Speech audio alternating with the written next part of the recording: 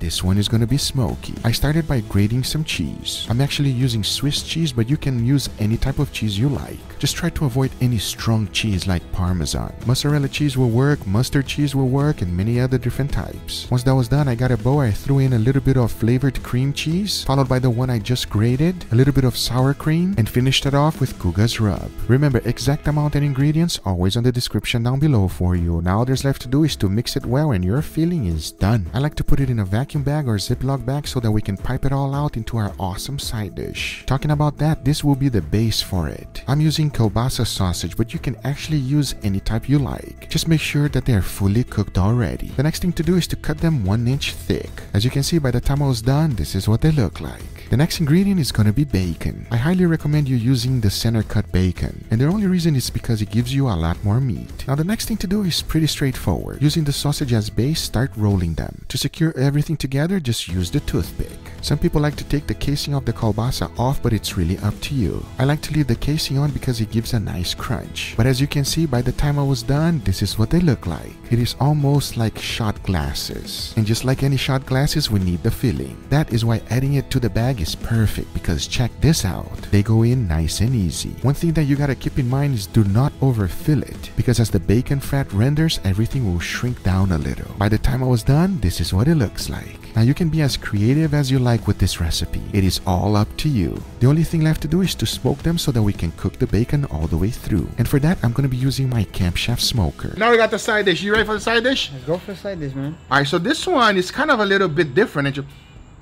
It's so smoky. It's like extra smoky. I'm gonna cut it in half. You're gonna have. There's a Go big for one. That's a big bite. Cheers, Cheers. Angel. Oh no. it tried to run away from you. Mm. Mm-hmm. That's tasty, everybody. Mmm. Oh man. Oh, I enjoy that. That's nice. What do you think, Angel? It's creamy. It's extremely smoky.